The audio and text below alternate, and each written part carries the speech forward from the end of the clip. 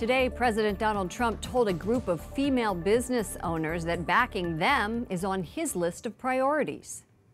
Joining us now is Dr. Grazie Christie, Policy Advisor for the Catholic Association.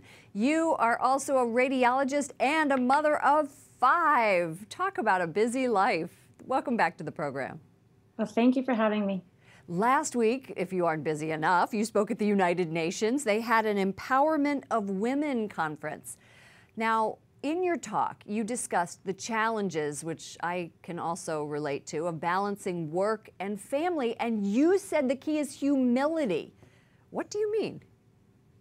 Well, you know, many times when we women are in the workforce, especially in demanding uh, professions like yours, for instance, um, we have to have a lot of humility in the way we we uh, you know we think about ourselves. Sometimes we don't succeed fully as well as we'd like at home or at work when we're trying to balance both things. And we also have to ask for the people at work to remember uh, the fullness of our femininity includes our motherhood and our wifehood and to give us time for those things in our lives that's very important to me too here at EWTN, where I really want it to be family focused and have us be able to get out and home to our children. You talk so eloquently about the power of motherhood and the importance for you working outside the home and balancing work and family. But there are a lot of women who also stay home and who also have to balance that plus keeping their own life and, and having something for themselves.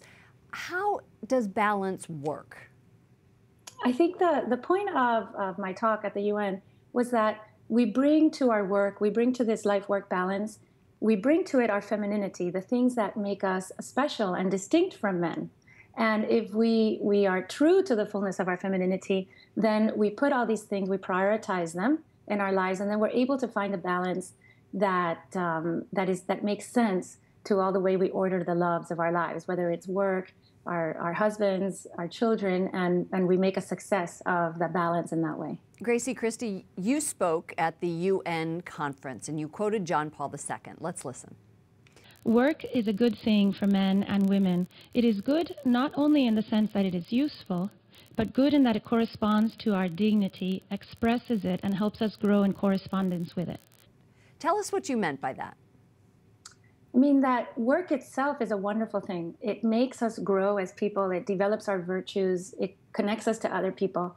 And in order uh, for that to be really good for women, we also have to remember that we're not men, we're women, and we have special strengths and special, special moral strengths, especially a special openness to life and an acceptance of other human beings. So we can bring all those factors together and make of our work an excellent thing. Dr. Grazie Christie, Policy Advisor for the Catholic Association, thank you so much for joining us. Oh, thank you, Lauren. It's always a pleasure.